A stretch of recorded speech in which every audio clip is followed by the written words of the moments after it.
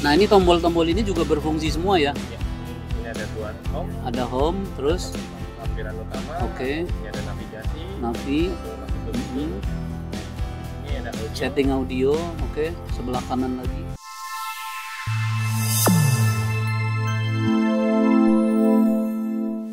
Hai Imaging Gang, kalian sedang menonton channel YouTube Cas Audio yang membahas otomotif dan audio mobil. Kali ini kita mau ngebahas produk head unit Android yang lagi marak banget karena Android itu dari berbagai RAM, berbagai merek dan berbagai tipe.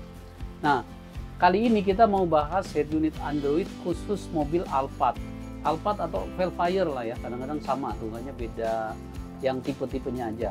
Nah, ini yang kita mau bahas ini head unit keluaran terbaru yaitu produk dari Nakamichi tipenya adalah Legend Pro MK3 nih. Serinya ini NA310-2i Legend Pro MK3 series Alphard. Jadi ini khusus buat Alphard. Ini sudah 2K ya, 2K.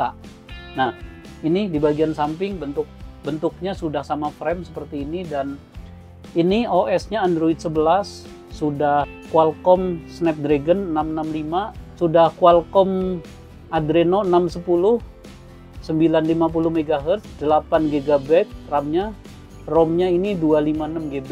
Ini udah WiFi-nya 2.4 5G. Nah, ini audionya DTS 4 kali 50 watt. Wah, banyak banget nih. Pokoknya kita baca bareng-bareng ya. Nih.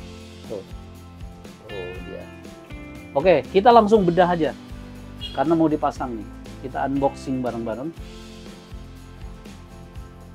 perlengkapannya simple aja nih langsung kita buka tuh ini isi dalamnya langsung yang paling bikin penasaran kan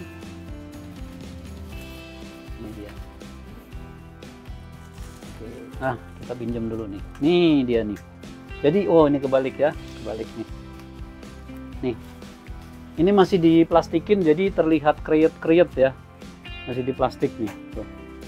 Nanti akan kita pasang kita liatin tombol-tombol bawahnya secara detail nanti setelah nyala dan ini bagian belakangnya tuh. Oke perlengkapan kabel ini ya satu gembol ini ya. Ini juga udah ada soket PNP, Oh, monitor oke. belakang.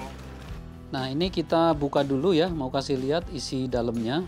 Sudah lengkap kabel-kabel dan bahkan sudah dikasih modul CAN bus nah hanya di sini menjadi catatan ini modul CAN busnya ini kelihatannya untuk uh, Alphard tipe lama nih. Nah, ini nih modul ini nih. Jadi modul ini akan kita coba nanti. Kalau ternyata ini untuk tipe lama, kita harus ambilin CAN bus tambahan alias harus beli ya, harus beli CAN bus baru agar kamera 360-nya ini berfungsi dengan baik dengan normal. Oke, langsung kita ke mobil ke pemasangan aja yuk. Oke, jadi pemasangannya head unit ini sedang dipasang-pasang dan ini kerjanya bareng sama eh, rekondisi jok nih. Kebetulan ada pemiliknya nih. Mas, aman ya kerja bareng digerecokin ya. Nah, jadi kalau kalian mau cari tempat rekondisi dashboard mobil, bangku mobil nih sama ahlinya nih di sini nih. Kenalin dulu dong, Bro. Namanya, Bro. Dari dari dulu kita nggak pernah ngobrol-ngobrol nih. iya baru ini padahal ya, tetangga kita tetangga. Sombong berarti ya. Kitanya sombong. sama-sama Enggak, enggak bercanda. saya Ian dari Mas Ian. Iya, Ian Wah, asli Surabaya. Surabaya Surabaya. Nah, bekerja bidang ini sudah berapa tahun total? Asli. 17 tahun ada Baru 17 tahun ya. 17 Tuh. 17 itu baru. ini orang yang sudah expert itu beda karena memang kita kerja selalu belajar ya. oh pasti Walaupun lama itu pasti ada wah penemuan baru atau kesulitan baru kita pelajari terus. siap Nah, Oke, Mas Ian.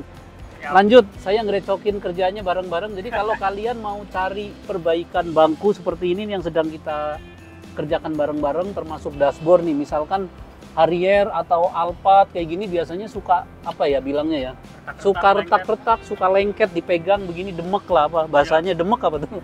Pokoknya pakai bahasa bahasa macam-macam. Jadi datang ke MGK. Nah, nama tempatnya itu Q Q1 ya. Iwan, ya. Queen, Queen, Q, Q, Q1. Nah, Quality number one. nah, quality number one tuh katanya. Jadi tempatnya bersebelahan sama bengkel kita, Cas Audio. Nah, nanti kita lanjutkan pengerjaannya nih, kita lanjutin lagi. Nah, ini head unit aslinya sedang dicopot. Nanti tinggal buka-buka baut ini. selanjutnya pasang yang baru. Nah, ini mobilnya yang sedang kita garap. Kita lihat sampai di manakah pemasangannya. Sekarang sampai apa nih, yuk? Posisinya? Ini udah lagi dipasang. Sudah lagi dipasang. Ya, tinggal jadi nyambungin dari ini ke kamera 360 ini. Oh, tinggal pengetesan kamera 360. 360. Coba ini plastiknya diangkat-angkat dikit coba, diintip-intip biar rada bening. Wah, ini dia. nih. Ini belum nyala aja udah bikin ngiler ya. Kayaknya jadi mewah banget. Tadi dengan ukuran layar yang kecil, sekarang menjadi 11 inci. Itu jangan dibuang dulu tapi ya. Tuh, glossy-nya beda banget. Ini belum hidup ya. Belum hidup udah bikin ngiler kata eh, Bang Ian nih. Siap. Kata Bang Ian tuh di belakang tuh yang tadi juragan Iya. eh, ini Lagi- rekondisi lagi cleaning kita. lagi cleaning dulu ya. Iya. Oke guys, pokoknya ikuti terus ya. Nanti kita mau kasih tahu kualitas Nakamichi terbaru dengan apa layar yang sangat lebar dengan resolusi yang sangat tegas. Pokoknya orang melihat head unit ini pasti saya bilang tadi ngiler, ngeces. Bercanda ya bro, biar nggak garing. Selanjutnya kita mau kasih lihat eh, pemasangan kisi-kisi AC ini untuk mobil yang sedang kita garap. Ini untuk kisi sebelah kiri ya udah dipasangkan dan pemasangannya juga gampang karena sistemnya tinggal tempel aja lalu sampai bunyi klek. Jadi ada knaufnya semua.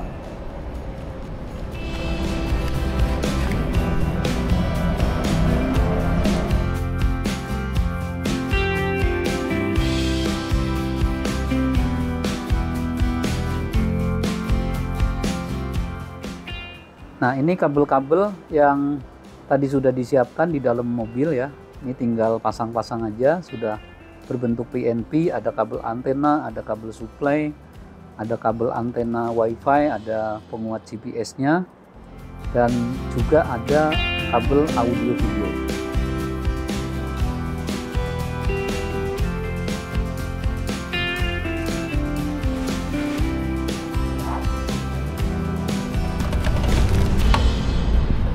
sebentar lagi tentunya akan dinyalakan nih guys jadi kalau mau tahu kualitas gambarnya seperti apa habis selesai kita pasang langsung kita tes gambarnya.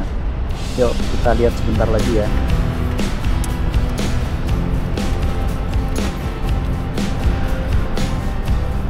Nah ini sudah pas semuanya dipastikan kanan kiri tidak ada kabel yang kejepit dan kita tinggal dorong. Cekrek. Ah udah. Tinggal pasang listnya saja guys nah ini pemasangannya udah kelar ya kita mau kasih lihat dulu nih ini udah terpasang sudah nyala tuh keren banget ya jadi lebar tuh kita lihat angle-nya dari kanan lalu kita lihat dari sebelah kiri tuh Beuh, gimana nggak bikin kepengen tuh tuh dari atas tuh eh keren banget nih tombol-tombol bawahnya tuh dari bawah tuh Tuh. Oke, sekarang ke menu utama coba Don. Tampilannya seperti apa? Ini buat aplikasinya. Oke. Banyak ya kayak buat Apple CarPlay udah Oke. ada, voice command ada. Lengkap Sini banget lengkap, ya. Ada YouTube, musik. Ya wes, lanjut ke pemakaian umum nih. Apa aja nih? Terus kalau buat UI-nya ini udah tampilan yang baru ya. Ini Hmm. Android-nya versi 11 jadi UI-nya udah lebih Oh eh, iya. sama kayak handphone kayak gini. Udah bener-bener kayak Ya. handphone ya. Oke. Lanjut. Equalizer mungkin kasih lihat. Equalizer, Nanti ini tes YouTube juga. Oh, ini udah di SP ya, ada Iya. DTS 5.1, 4.1, 4 channel, 2 channel tuh. Nah, ini equalizer ada standar rock, pop, klasik, sistem modenya ada sound, simple Hmm. mode, ada complex mode, jadi yang lebih detail-detail Ini kalau lagi. mau di EQ sendiri lah ya. Oke, ini sebetulnya pemakaian umum nih, tapi mending kita kasih tahu apa adanya. Atau kamera dulu mungkin ya sambil firing. kamera, nah, sambil kamera firing. originalnya Nah, kamera lebih enak tutup pintu don, karena itu pintu kebuka nanti jadi jadi nggak dapet letaknya ya. Nah, ini perlu diketahui nih, kamera kan bawaan, resolusinya beda ya. beda eh, di- Lebih rendah. jadi lebih rendah Eh, Nah, itu. sebelumnya kan head unit aslinya kan 8 in tuh Ah, ah. jadi nggak kelihatan pecah-pecah Ya, tadi udah dikasih lihat. Setelah diganti ke 11 in ini ah, ya, udah ini udah full HD 1080 bahkan 2K ya. Nah, kita pencet tombolnya. Nah, tuh. Nah, ini eh, belakang mobil itu lampu banyak banget. Iya. Jadi eh, ngelawan karena ini resolusi kameranya rendah, kamera lama. Karena kamera nggak ganti. Nah, sekarang coba yuk kamu sense. ini kita send Sen kiri. Nah, ini kirinya tuh. Tuh, dibuka juga gerak, tutup lagi, lalu kamu sen kanan. Oke, sen kanan. Tuh, tuh dibuka juga puter tuh. Oke. Ya udah, ini berarti udah bener ya, udah nyala. Nah, ini kameranya udah berfungsi. Sekarang tes YouTube dong. Nah, tuh cepet banget ya, connected langsung. responnya juga respon Responnya bagus. Ini Android 13 apa 12? Oh, Androidnya nih versi 11 nih, Nakamichi ini. Sudah cukup oke lah. Auto aja lah, auto nggak apa-apa. Auto, oke. Nah tuh. Wih, ini pohon kelapanya kayak beneran ya. Iya aja padahal kita kerjain. Nah itu lagi-lagi loading. Nah ini seru nih karena kita rekam dengan cara natural begini ya tanpa edit-edit yang repot. Jadi kita kasih lihat apa adanya tuh gambarnya tuh. Waduh, cakep. Coba eh, video lain lagi musik yang ada suaranya. Ini yang pasti udah oke banget lah. Amazing ini amazing. Amazing, amazing. Ayo sambil cari-cari. Nah, saya sambil obrolin ini eh, pemasangan kali ini sedang dilakukan pengetesan. Jadi kalau kalian cari head unit apa namanya? Ini saya susah banget nih ruangnya. Udah dapat ya, kita balik lagi ke depan. Oke, yang ada lagu-lagunya siapa pun boleh. Karena copyright kita kasih sedikit biasanya ya. Kau mampir hari ini Bila tidak mirip kau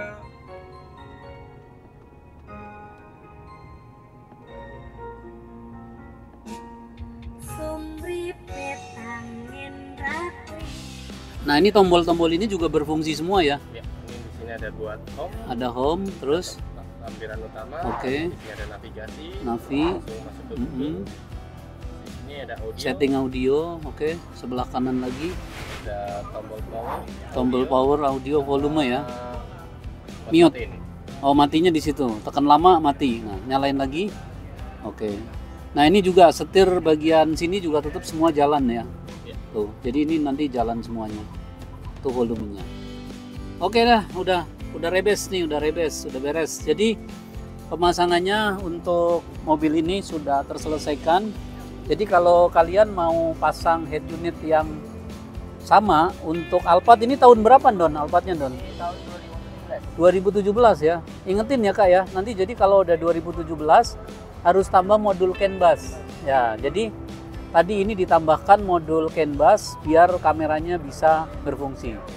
Nah, sampai di sini dulu tentang review head unit baru untuk Alphard. Kalau kalian mau cari-cari silahkan hubungi kita. Nomornya di bawah sini nih. Di bawah sini ya. Nah, kalau mau cari audio yang lain juga di tempat kita tersedia lengkap dari yang murah sampai yang mahal juga ada. Pokoknya banyak pilihannya, yang branded ada, yang murah banget ada. Terima kasih buat kalian yang selalu support channel kita. Jangan bosan dukung terus dengan cara komen, like, subscribe, dan tekan tombol lonceng agar dapat notif di video berikutnya. Terima kasih banyak. Sampai jumpa di video selanjutnya. Imagine.